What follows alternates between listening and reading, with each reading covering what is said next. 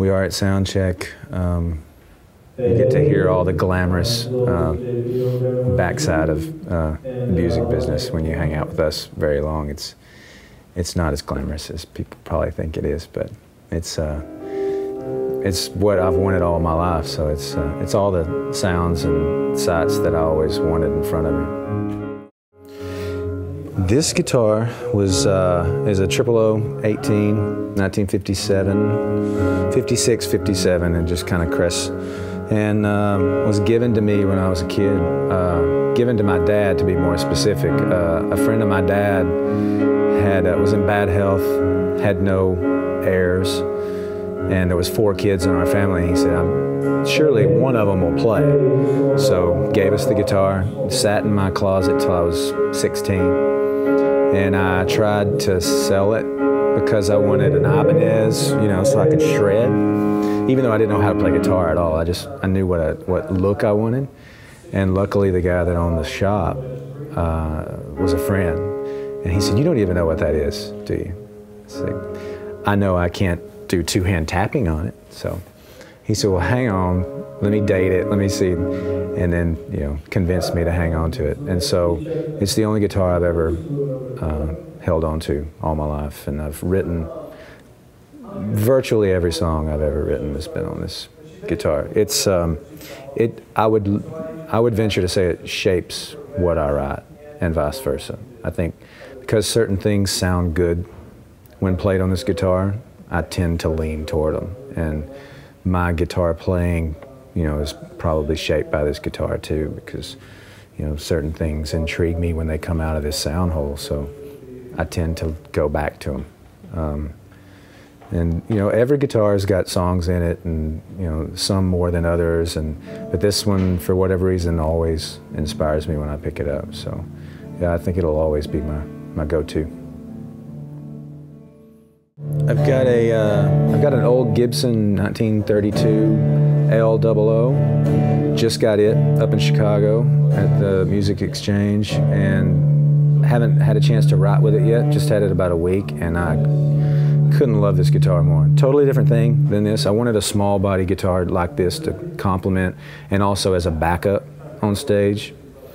Um, but um, so it just came into the arsenal. Um, a 1953 L4 Gibson, which typically is an acoustic, you know, arch top F hole kind of thing. But somebody back in the day put a DeArmond pickup in it really well and super simple, but does exactly what I want to. I can crank it up. It, it's uh, it's got that classic Gibson neck, and uh, um, got it at Gruhn's in Nashville. And then also a Gibson uh, 125T, the thin line.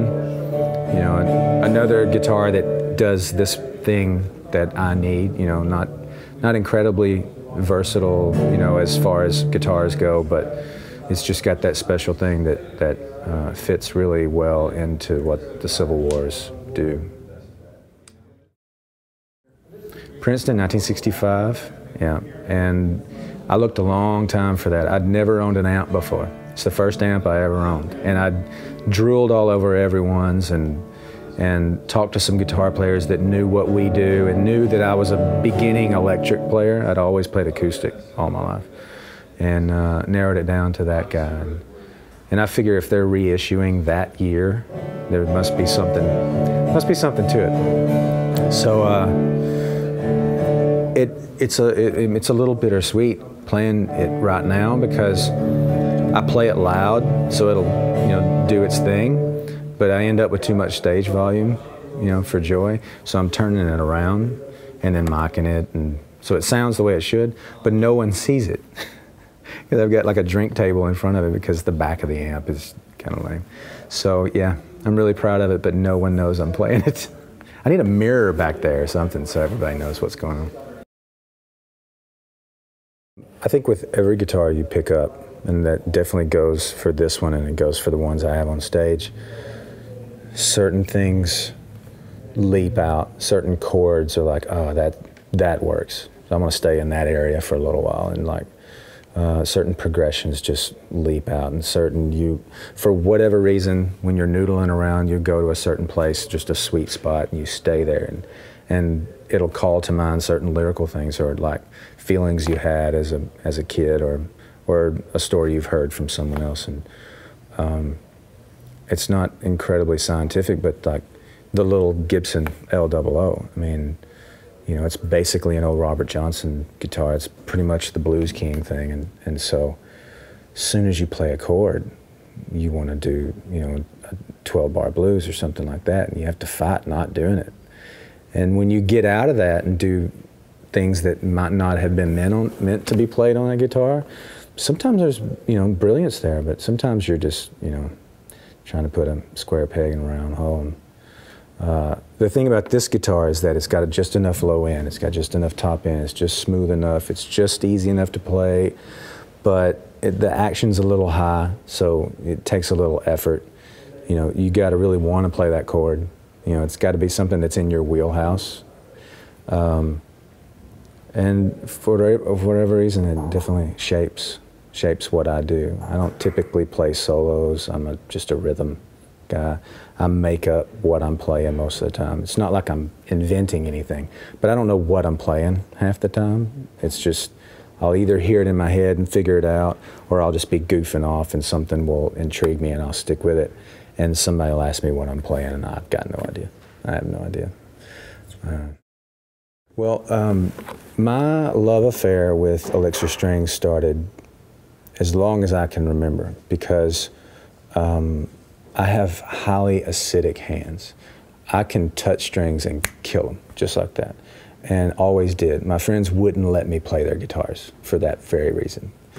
Um, and I just started learning how to play rusty strings back home because I couldn't afford buying more strings, or I'd play a four-string guitar because I'd break them or whatever because they'd been so rusty for so long. And I got turned on to Elixirs and the coated strings, and so when I first started playing them, it was totally for function's sake, you know, because they would last. And that was what turned me on the first time.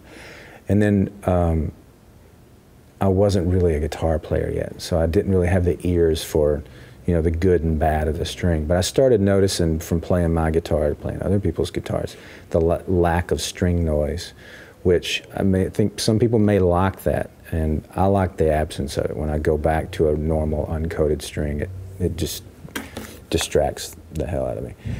Um, then started noticing little by little um, how much um, longer they'd last, which was a huge deal, you know, to a kid that had a limited amount of money and and was playing all the time and uh, was killing strings, and so it, and but. Uh, oh, and the other thing was also uh, tuning the guitar. When I'd put new strings on, and it's still to this day, put the strings on, stretch them one time, done.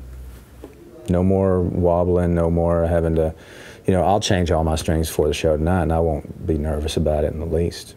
Because, you know, and I never was that way with, with other strings. I'd have to, I'd time it two days ahead of a show so that they would fully be ready to play. I'll, I'll change strings and walk out on stage now. I don't have any qualms about it at all. Um, but by and large, I started noticing that um, I just liked the sound of the strings better than any other string. And I used to always think that the reason that I was playing them is because of all those things I just said, all the practical things about it. But I started realizing that what it really was about was the sound of, you know, it wasn't that that harsh, thin, bright sound of unwound strings that that now I don't know if I've just you know become accustomed to the sound of the Elixir strings or vice versa, but I don't want anything else on any one any of my guitars. So when I started having conversations with the folks at Elixir, I I, I hope it wasn't obvious that I was kind of hopping around the room because. Um, if there's any product that I'm going to stand behind, it'd be those strings, because and that's all I've ever played, and so it was pretty easy to tell them, yeah, we can we can do something. Pretend like I was being cool, when I was just like, I've been praying for that for a long time. So, yeah, It's uh, it's the easiest endorsement I ever made.